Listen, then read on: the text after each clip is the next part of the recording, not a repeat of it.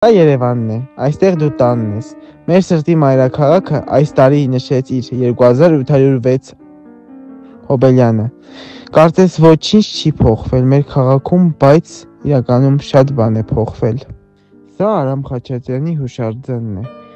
Արամ Խաչատրյանի հուշարձանը տեղադրվել է Արամ Խաչատրյանի համերգասրահի առջև 1999 թվականին։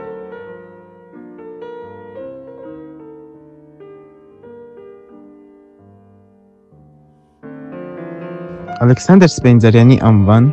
օպերայի եւ բալետի թատրոն։ Այն գտնվում է Մաշտոցի պողոտա եւ Սայեդնովա փողոցների միջնամասում։ Բայց քչերին է հայտնի, որ այնտեղ է գտնվում Ալեքսանդր Սպենդիարյանի գերեզմանոցը։ Հյուսիսային պողոտա։ Այստեղ միշտ բազմամարդ է։ Չկա գետ մի արտասամացի, որ չգա ու չհիանա այս վայրով։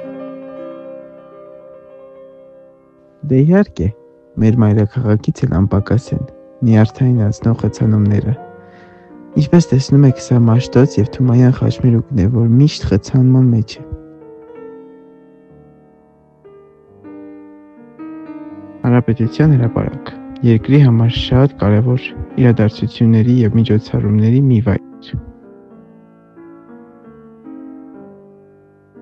Այստեղ էլ, ինչպես տեսնում եք, պատրաստվում են ամանորյա տոնակատարությունների։ Ամանորյա շունչ է տիրում ամբողջ քաղաքում։